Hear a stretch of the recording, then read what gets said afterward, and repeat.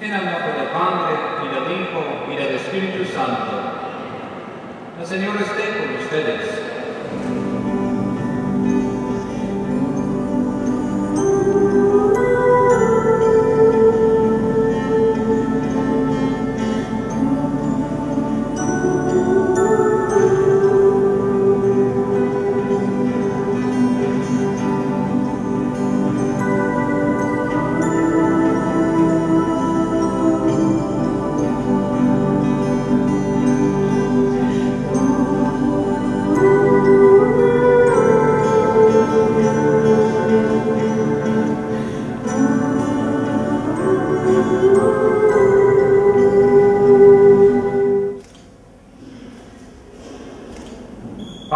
Santo, que hiciste al hombre a imagen tuya, y lo creaste varón y mujer, para que, unidos en la carne y en el espíritu, fueran colaboradores de tu creación.